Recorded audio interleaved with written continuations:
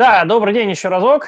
А, значит, давайте я продолжу. Теперь а, мы перейдем к тому, что касается MLOps, так называемых, то есть что мы под этим подразумеваем. Вообще начнем, а, пожалуй, с проблемы, то есть э, с чего все, в общем-то, с чего весь сырбор.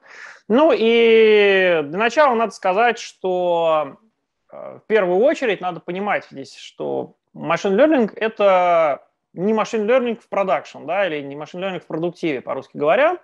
А, что это означает? То есть огромное количество проектов э, по машин лернингу, они за пределы лаборатории, в принципе, не выходят. А, ну, просто потому, что они не доходят до стадии производства.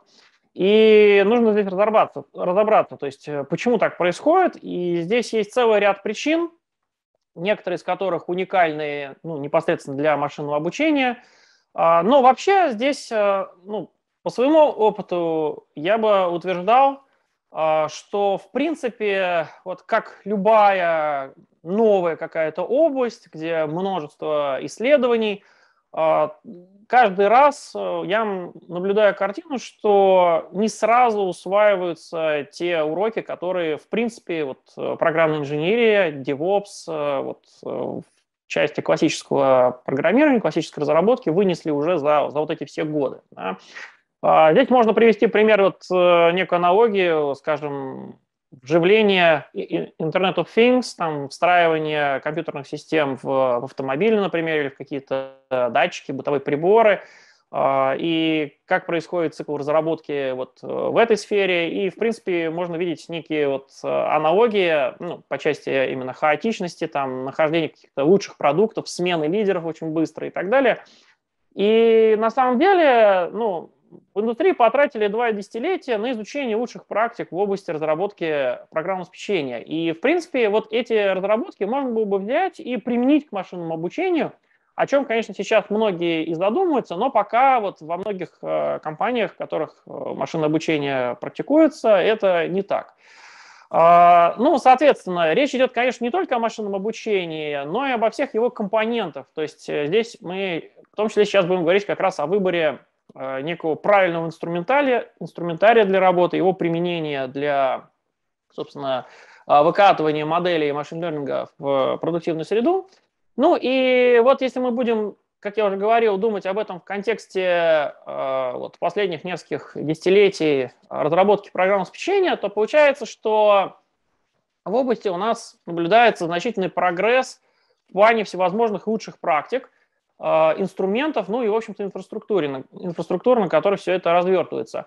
И, в общем-то, я вот вспоминаю себя, я также, вот как, э, как Игорь э, вел в ВУЗе курс, в том числе и по машин-лернингу, по основам, там, по scikit-learn, по прочим вещам. И вот вспоминаю здесь э, сейчас о тех курсах, которые у меня были в институте там лет 15 назад, и там даже не говорили такие вещи, как, скажем, контроль версий, такие инструменты, как Git, например, вообще, в принципе, не звучали, да, казалось бы, так анекдотичная ситуация, потому что инструментам уже много лет, но, тем не менее, о них было тогда, ну, скажем так, не модно говорить, видимо. Вот, но теперь вот а, давайте сравним. У нас есть а, разработка традиционного программного обеспечения, то есть Software Development Lifecycle, или там зашифровано как SDLC, и есть Machine Learning Lifecycle, да, то есть разработка программного обеспечения вместе с машинным обучением. Соответственно, если мы посмотрим на вот как это бок о бок э, о том, на то, как это происходит, то, э, соответственно, видим, что в принципе у нас есть некоторые шаги вполне стандартные э, при разработке. Это, вот, как я уже говорил, там контроль версий, это CI/CD pipeline, дальнейшее управление, обслуживание, обеспечение безопасности всего этого процесса. То есть уже, в принципе, мир э, в плане разработки классического ПО перешел на DevSecOps, то есть еще мы и безопасность туда втаскиваем. И вот если в компаниях по разработке какие-то из этих э, шагов исключают на проектах, да, уже таких, я бы сказал, фундаментальных вот таких шагов, то, в принципе, э, тут сложно говорить, наверное, ну, зачастую там, соседние компании, специалисты крутят у виска, говорят, ну, наверное, какой-то проект не очень серьезный, да, раз, раз вы не используете вот эти все ключевые элементы. А вот что особенность в случае с learning, что происходит? Дело в том, что вот на стадиях, на, на нескольких стадиях у нас есть отличия.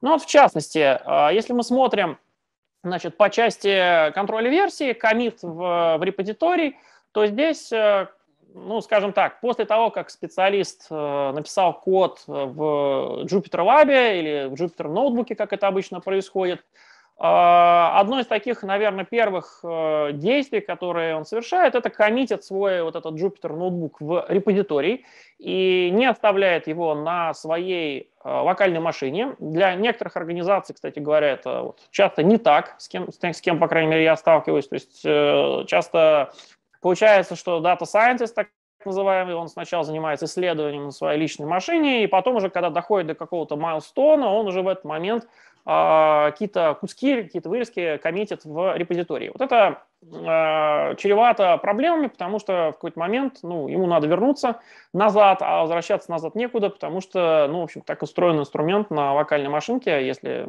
не предусмотрено контроль, если он сам его не предусмотрел, то за него это никто не сделал. Вот. Далее у нас э, идет переход на интеграцию. И вот здесь вот э, в случае с интеграцией у нас в случае с, э, с машинным обучением также присутствует вот помимо э, инструментария, который делает интеграцию, то есть э, там, ну, примеры здесь перечислены, там Jenkins, Travis, там PodStream и так далее, а здесь еще добавляется, в общем-то, датасет или тестовый сет данных, на которых мы проверяем, что модель в машинном обучении отрабатывает корректно. А, вот при переходе на Continuous Deploy, на развертывание, тоже большая э, такая особенность в случае с машинным обучением, которая заключается в необходимости э, использовать специализированное железо. Ну, в данном случае э, очень часто это видеокарты, которые заточены на обсчет большого количества данных – и нам нужно предусмотреть, что у нас GPU подключен на этапе деплоя, что у нас есть э, возможность сделать холодный старт э, а, при анализе наших данных. Вот, то есть вот эти вот все дополнительные вещи нужно э, предусмотреть. И дальше у нас идет выкатывание модели в продуктивную среду, то есть идет, соответственно, этап, ну, либо мы в какую-то пилотную зону выкатываем, как часто бывает, либо уже там накатываем очередную версию на продакшн, и здесь, конечно, возникает тема мониторинга. Но в случае с э, мониторингом классического ПО э, у нас эта тема касается э, мониторинга именно жизнедеятельности приложения, то есть как оно работает, не упало, нормально ли откликается.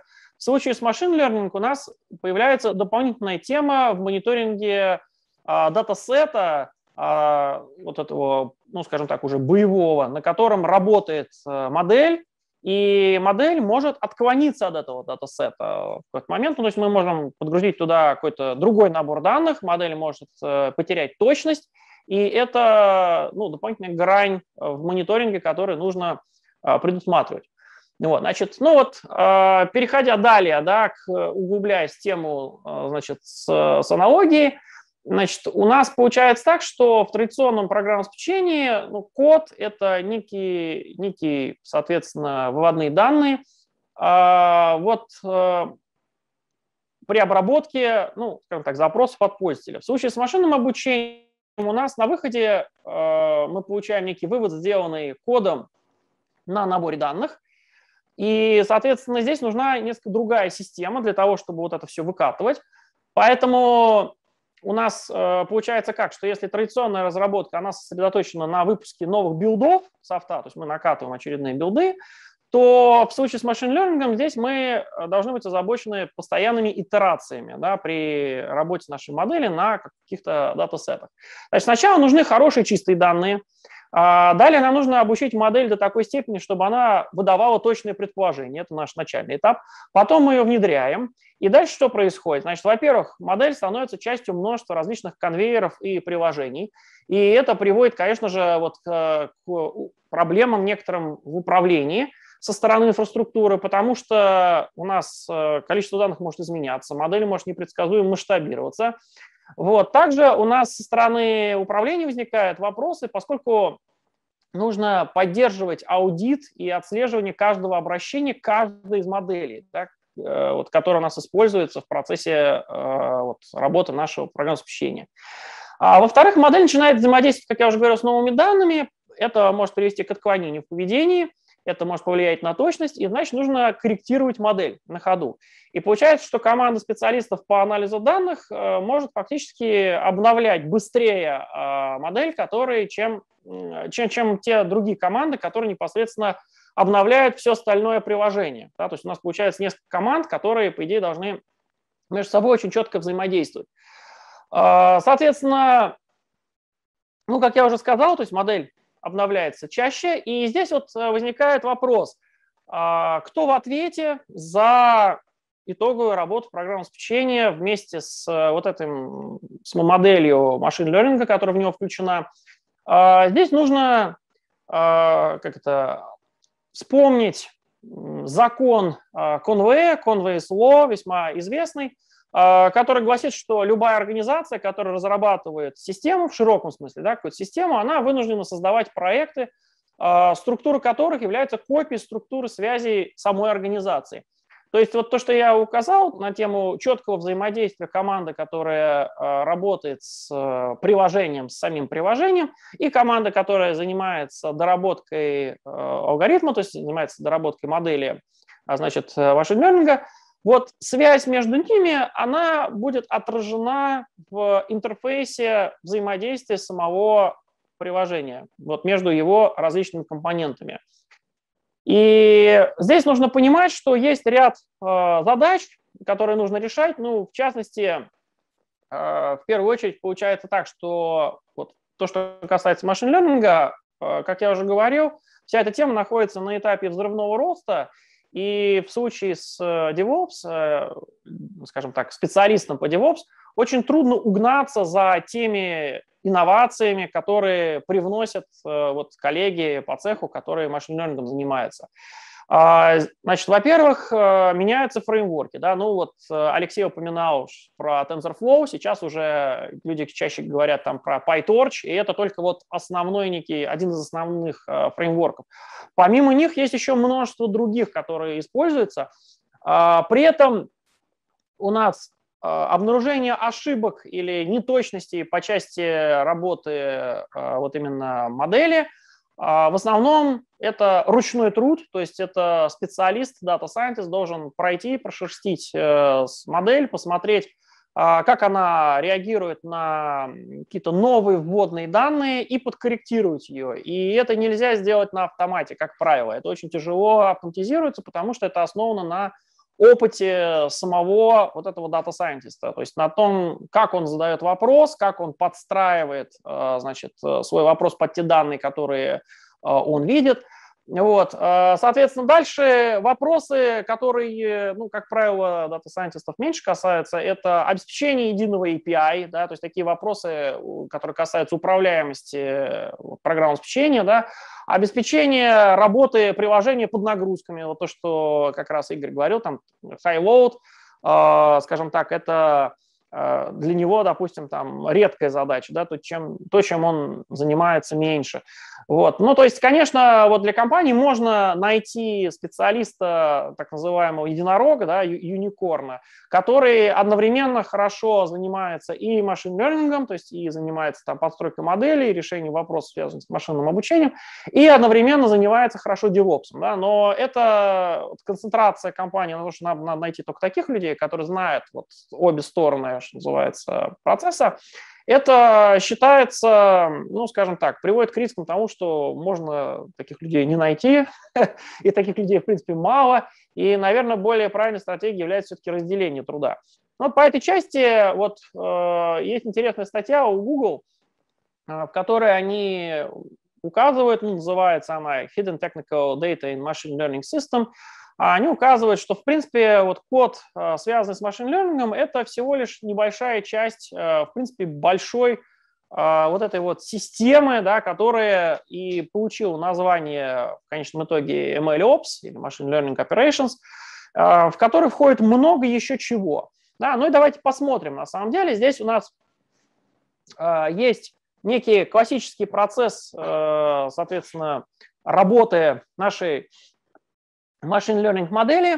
То есть здесь есть несколько фаз от так называемого дата ранглинга до развертывания модели и контроля версий. Вот. И вот если мы поделим здесь вот этот процесс длинный на составляющие его части, то видим, что есть вот та часть, которая касается машинного обучения, а, непосредственно исследовательская часть, а есть та часть, которая касается развертывания и операционной деятельности.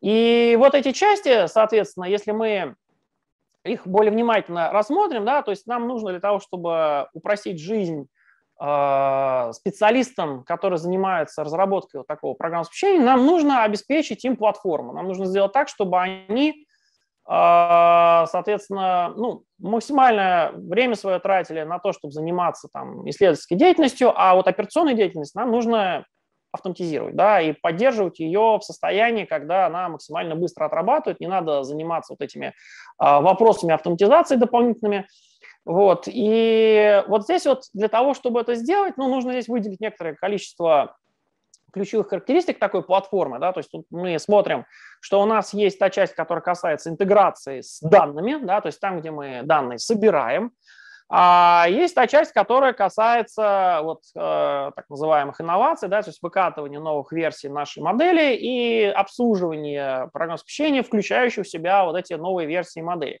То есть вот у нас есть ряд характеристик ключевых, которые, а, соответственно, ну, в, каждом из, э, в каждой из частей они наиболее релевантны.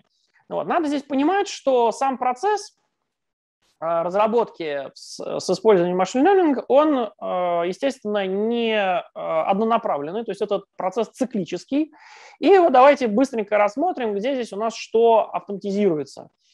А, соответственно, вот мы берем нашу, наш процесс развертывания ну, там, с двумя стадиями, как я их описывал, и вот фактически давайте его представим здесь как циклический процесс, потому что он, в общем-то, таковым а, в данном случае является. Что мы можем здесь автоматизировать? Ну, в первую очередь, а, вот из всех вот этих вот, э, скажем так, э, этапов, которые вот этот процесс проходит, а, ну, наиболее логичным там на первом уровне у нас это автоматизация сбора данных. Да, то есть автоматически там это может быть автоскрепинг, соответственно, каких-то веб-данных из, из, э, из глобальной паутины.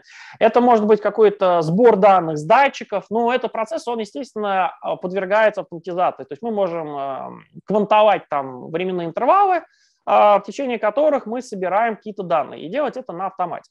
Дальше немножко сложнее у нас, естественно, идет а, подстраивание а, нашей модели. То есть изначально мы модель какую-то построили, а вот ее какая-то подстройка, подстройка весовых коэффициентов в зависимости от того, какие у нас данные подаются на вход, ну, в конце концов, у нас может быть конечное множество типов данных, которые мы подаем. То есть у нас какая-то область, у нас какие-то сенсоры там разных классов, а, которые мы знаем, а, значит, в пределах каких значит, характеристик у нас, ну, вернее, в пределах каких, в каких пределах у нас характеристики изменяются в этих входных данных, мы можем немножко подстроить модель и делать это тоже на автомате в зависимости от э, поданных данных. Ну, как я уже сказал, в определенных пределах, конечно, но можем это делать. А, ну и далее, наверное, наиболее сложное для автоматизации значит, несколько составляющих – это а, выкатывание модели в продуктивную среду и использование ее, то есть автоматизация а, выкатывания непосредственно процесса э, continuous deployment, а, это, наверное, будет э, наиболее таким продвинутым вариантом автоматизации. Ну и как бы финальное, это, конечно, э, вот развертывание, этап развертывания и, соответственно, согласование версии нашей модели а, с версиями, с билдами все, всего остального э, программного обеспечения, которое эту модель включает в себя и использует. И вот это вот, э, как я уже сказал, вот для того, чтобы все это автоматизировать, то есть сейчас, конечно, очень просто я сказал там сначала это, потом то, потом вот самое, самое сложное это вот это, да, но вот для того, чтобы это все реально сделать, нужна какая-то э, желательно коробочная платформа, над которой не придется долго возиться для того, чтобы ее подстроить под задачи, и которая позволит решать какие-то вот эти вопросы, связанные с, автоматизацией, да, или которые можно подстроить под решение этих задач. И, конечно, здесь ну вот мы в VMware говорим о том, что есть ряд инструментов, которые VMware разрабатывает, и которые как раз ложатся э, здесь вот для того, чтобы автоматизировать различные кусочки вот этой вот, э, вот этого вот, вот эти этапы различные, да, вот этого процесса. Вот, значит, вот мы можем разделить на самом деле вот эти этапы на три части, по сути. И дальше э, посмотреть, а что же VMware предлагает из инструментария, что же здесь можно почерпнуть от э, как раз того, что предоставляет платформа на базе VMware. Вот. Здесь я, кстати, подключу Алексея. Как ты думаешь, Леш? Вот давай посмотрим вместе с тобой. Значит, у нас здесь есть э, ряд вещей, которые касаются нашей инфраструктуры, э, и давай их просмотрим. Вот как ты здесь видишь по части того, что у нас имеется. Ну, на самом деле, портфель VMware ограничивается не только виртуализацией, да, вот мне всегда uh-huh. удивительно, когда говорят, что VMware это компания, которая занимается только виртуализацией. Они всегда так говорят, да. Да, потому что на самом деле виртуализация, это, наверное, то, с чего VMware начала uh-huh. и многие годы занималась, но сейчас это уже платформа, которая позволяет запускать любые нагрузки, в том числе нагрузки по машинному обучению, и не только платформа для этого, но еще и платформа для а, построение вот таких процессов типа MLOps, то есть, ну, DevOps уже давно есть, давно используется, теперь мы переходим вот к MLOps таком, потому что с приходом Танзу, на самом деле, портфель Танзу не ограничивается только Kubernetes, про который все говорят, Uh-huh. А, с, когда влилась компания Pivotal, появилась э, куча разных интересных продуктов, в том числе, например, вот Green Plum, который для хранения данных и построения больших озер данных, Data Lake, а, который на самом деле очень широко используется и среди э, русскоязычных заказчиков в том числе. Я же правильно понимаю, что Green Plum, по сути, это взяли Postgre и его переработали, распараллелили, по сути, да? Да, сделали так, и в том числе туда добавили всякую аналитику. А, это, с одной стороны, да, Postgre, с другой стороны, этот Postgre если мне не изменяет память, э, где-то через 10 лет после своего появления, ну, то есть относительно сейчас, это лет 20 назад, э, появилась компания Green Plum, которая все это начала делать. Она едва ли не раньше VMware появилась. То есть это давний процесс? Да. да, давний процесс, и там от изначального Postgre осталось, ну, не так много, наверное, уже. Да. Вот, и также это вот платформа для хранения данных на базе Visana, Data Persistent Platform, которая при помощи ну, известных open source библиотек э, Min.io или Cloudian, которые эмулируют э, хранилище S3 амазоновское, позволяет создавать вот хранилище данных таких. Здесь вот на картинке на самом деле серединка – это то, чем VMware не занимается, то есть это построение модели. Это то, что ручной труд, да? То есть фактически Но... мы это оставляем, то есть есть все-таки область, которая автоматизирует сложно. То есть... Ну, естественно, а кто за дата Scientist разработает э, модель? Никто. Но и VMware бы, наверное, могла это попробовать сделать, как, например, делается а, для того, чтобы анализировать поведение ЦОДа. А, например, в vROps да, есть какая-то часть machine learning а. Это можно сделать той частью, которую мы знаем, например, сетевой частью. VMware приобрела компанию по machine learning у для анализа сети и сетевых угроз, и сейчас внедряет это в свои продукты. Но э, когда неизвестна задача, она абстрактна, непонятно, как, мм. я, как я рассказывал ранее, это уже искусство дата-сайентиста, посмотрев на данные, разработать модель. Задать правильные вопросы. Ну да, задать фактически правильные вопросы. И вот эта вот часть, серединка, ну, у vSphere на самом деле там есть и ходу, а, есть что-то и со Spark связано, а, но это, опять же, платформа, это вот построение модели, это не то, чем занимается VMware. VMware может сделать левую часть платформы для... Зелененькую. Да, да, и сделать правую часть платформы для построения пайплайна, то есть ну, понятно, что можно использовать готовые решения, типа самому собрать, а, использовать вот, э, там, партнер наш Algorithmia, который занимается строением MLOps, а, или можно взять, допустим, опять же, тот же Tanzu Kubernetes и на базе Tanzu Kubernetes собрать пайплайн, угу. автоматизировать это все, который будет вот, от начала, там позволять дата-сайентисту заниматься, собственно, изучением данных и работой с данными. Не заботьтесь о том, как настроить инфраструктуру, там, развернуть вот эти всякие Jupyter буки, э, настроить Kubernetes, э, подставить туда библиотеки, операционки и так далее, пробросить графические карты. Э, ну, дата-сайентисту это не интересно, это интересно нам, как инфраструктурщикам чтобы это все работало, а дальше уже ну, вступают специальные люди, которые учились этому. Ты знаешь, на самом деле я могу тебе здесь прокомментировать э, от своих э, вот, коллег, кто занимается преподаванием по машин learning, в частности, там Игорь, э, и не только он, кто занимается. Вот э, я тоже, ну, как бы с ними общался, они сказали, нам, в принципе, интересно, инфраструктурная часть, но мы хотим спать спокойно ночами, да, то есть мы к этому делу подходим как-то исследовательски, да, то есть можно развернуть что-то, а оно упадет, да, то есть э, желательно, чтобы оно не падало еще, да, работало стабильно, и желательно, чтобы ну, в какой-то момент э, иметь какой-то какой фундамент, какую-то базу, э, на которой уже дальше ну, можно наращивать. Да? И вот такой базой действительно по части сбора данных будет являться у VMware там, GreenPlum и интеграция с э, партнерами, да, там, э, по части хранения Data Lake партнеры. А по части выкатывания э, софта на продуктив можно здесь опереться готовый инструментарий, который действительно предоставляет возможность вот, выкатывать модель. Здесь на самом деле нельзя забывать о том, что все равно нужны специалисты, которые понимают везде. То есть сейчас как есть DevOps-архитектор, нужен также uh-huh. MLOps-архитектор, который, с одной стороны, знаешь, как есть либо все о ничего, либо ничего обо всем. А вот нужны специалисты, которые могут верхнеуровнево посмотреть, они понимают, а, как работают дата-сайентисты. То есть я на самом деле не просто так рассказывал, как работает нейронная сеть и почему э, нужны вот эти все вычисления, чтобы люди, которые связаны с инфраструктурой, то есть к ним приходят и абстрактно говорят, у меня черная коробка, внутри там абстрактное машинное обучение, мне нужно ее запустить. Инфраструктурщик запускает, а дальше непонятно. Что-то не работает, а в каком месте вот затык, э, не очень понятно.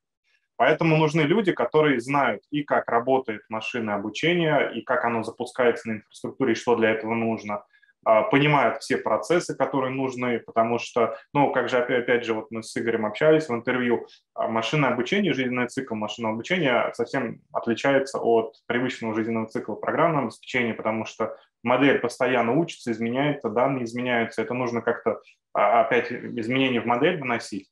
А в софте все просто. Зарелизил патч какой-то, да, и все, и вперед.